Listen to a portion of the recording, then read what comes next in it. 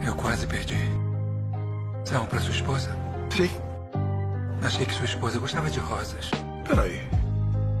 Te conheço? Não. Mas eu te conheço, Bill. Aceita meu conselho. Se vai trair sua esposa, é melhor pensar bem. Trabalha aqui?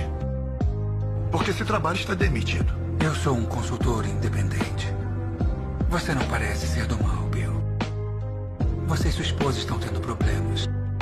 Acontece. Algumas mulheres iriam embora, mas outras contratariam uns caras para irem ao seu escritório, inutilizar as câmeras de segurança e fazer com que pareça um assalto.